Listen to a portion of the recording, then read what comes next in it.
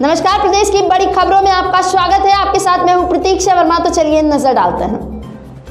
उत्तर प्रदेश के जनपद सिद्धार्थनगर के सभी सामुदायिक स्वास्थ्य केंद्रों पर तैनात वार्ड बॉय और अन्य वार्ड आय ने बीते एक वर्ष से वेतन न मिलने से मुख्य चिकित्सा अधिकारी से न्याय की गुहार लगाई है। वहीं स्वास्थ्य कर्मियों ने कहा कि अगर वेतन नहीं मिलता है तो बच्चे और परिवार के साथ जिलाधिकारी कार्यालय पर डेरा डाल देंगे। इस संबंध में सीएमओ सीमा राय ने कहा कि अप्रैल से इन्हें इंदिरा शक्ति ने निकाल दिया। आगे इन्हें रखने की बात परिधि से चल रही है। फ़िलहाल वेतन पर कोई सही जवाब नहीं दिया कि कब होगा वेतन का भुगतान। India twenty four into seven live TV के लिए सुचित कुमार की रिपोर्ट। क्या नाम आपका? किस पद आया। क्या मामला है? कोरोना जैसे महामारी में लॉकडाउन के समय आप लोग लामबत्त हुए हैं। जी सर, हम लोगों का मतलब एक साल दो हज़ार अठारह में हम लोगों का वो हुआ, तैनाती हुआ।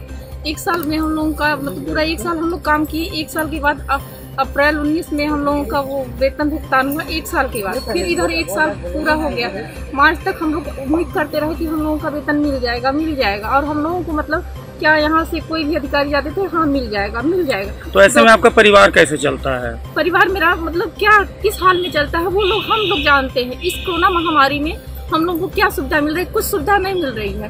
गवर्नमेंट हम लोगों को क्या मुख्यमंत्री हुए प्रधानमंत्री हुए सब लोग कहते हैं हमेशा न्यूज़ पे दिखाते हैं चैनल पे दिखाते हैं। कि हर कर्मचारियों का वेतन भुगतान किया जाए किसी भी कर्मचारी का वेतन ना रोका जाए। अब बताइए हम लोग इस कोरोना महामारी में हम लोग मतलब वेतन के लिए परेशान है सारे लोग परेशान है। हम लोग का परिवार कैसे चलता है वो हम लोग जानते हैं हम लोगों के बच्चों का भविष्य हम लोगों का भविष्य। मतलब एकदम ऐसा हो गया है कि हम लोग समझ नहीं पा रहे हैं कि हम लोग क्या करें। आपकी प्रमुख मांगे क्या?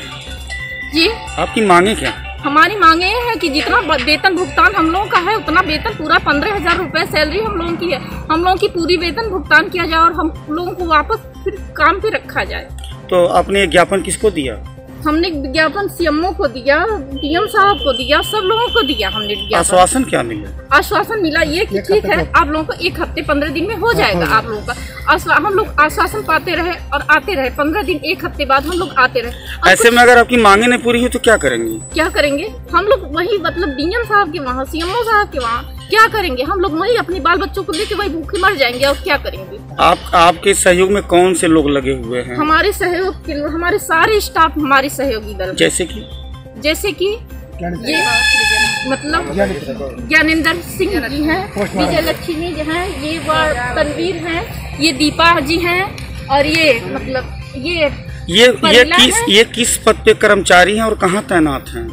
परमिला वार्ड आया है बर्डपुर पीएससी पे तैनात है। ये भैया है पोस्टमार्टम हाउस में तैनात है। ये भी सुपर सुपर है। ये भी वार्ड आया है इटवा में तैनात है। ये वार्ड वार्ड है बर्डपुर सीएससी यानी जनपद के सभी कर्मचारी आपके साथ? हाँ जनपद में सभी कर्मचारी हमारे साथ हैं।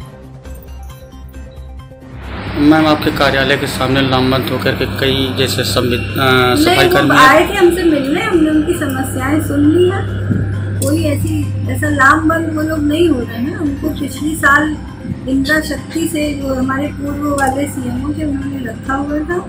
तो उसका लेकिन इंदिरा शक्ति से उनका कोई भी भुगतान मार्च तक नहीं हुआ था इंदिरा शक्ति वालों ने हमको अप्रैल पहली में ये दे दिया कि हम अपनी, अब इन लोगों को वेतन नहीं देंगे हमने उनको निकाल दिया है। अब जेन पोर्टल से उनका, उनकी भर्ती की जाएगी।